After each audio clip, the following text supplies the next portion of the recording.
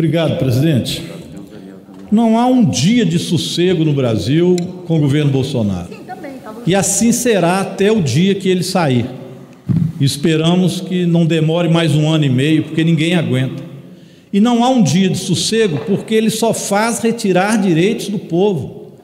E a Câmara Federal, a Câmara de Deputados e Deputadas, infelizmente, acaba aprovando projetos que entusiasmam e incentivam a retirada de direitos. O que nós vimos hoje acontecer com os índios foi um absurdo enorme. Eu estava no gabinete, no anexo 4, quando escutei bombas, filmei essas bombas. Não foram uma ou duas bombas, não, senhor presidente. Os índios estavam acuados aqui no anexo 2 e as bombas sendo julgadas uma após outra. Foram centenas de bombas. Se nós tivéssemos condições de vasculhar, porque isso eles já devem ter feito, e recolhido os cartuchos de bomba, mas foram bombas de gás lacrimogêneo, bomba de efeito moral, bomba de pimenta e sei lá que outros nomes tem, para índios indefesos, que não tinham a menor condição de fazer uma ocupação da Câmara e nem pretendiam isso. Agora estão aqui há vários dias solicitando debater um projeto de lei que eles julgam que é prejudicial à demarcação de terra indígena.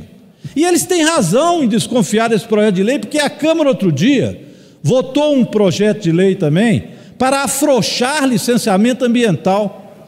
No final, nós fizemos uma emenda para as grandes mineradoras não fazerem autolicenciamento. Imagina, deputada Gleisi Hoffmann, presidenta do PT. Mineradora agora se autolicencia. Aí fizeram uma subemenda, dizendo: não, se for média mineradora, se não for de alto risco, podem elas, essas mineradoras, se autolicenciarem. Parece que não ocorreu Brumadinho, Mariana. Agora querem fazer isso com os índios. Eles estão corretos de estarem reivindicando aqui. Quem não está correto é a Câmara de não abrir o espaço. Por que, que esse projeto de lei que está na CCJ não foi interrompido para fazer um debate democrático com os índios? O que está sendo feito na Câmara não é correto. Ontem foram os eletricitários e o povo brasileiro ficar sem Eletrobras. Dizem que vão vender a Eletrobras em janeiro de 2022 por uma bagatela de 60 bilhões por empresa que vale mais de 370.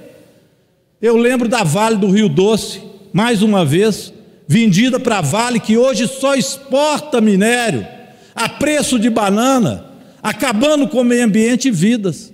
Isso não pode ser o destino do nosso Brasil. Parabéns aos índios, deram uma demonstração de que é preciso reagir e o povo brasileiro vai fazer o mesmo. Fora Bolsonaro genocida.